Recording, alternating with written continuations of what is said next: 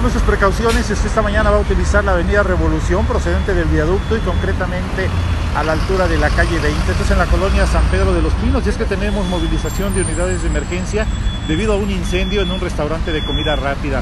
Afortunadamente no se reportan personas lesionadas, ya personal del heroico cuerpo de bomberos pues ha laborado por varios minutos en el interior de este inmueble. La zona se encuentra completamente acordonada para evitar mayores riesgos. La circulación, reitero, se ve afectada a través de la calle 20, lo mismo a través de la avenida Revolución. Para Capital Media informó Juan Manuel Padilla.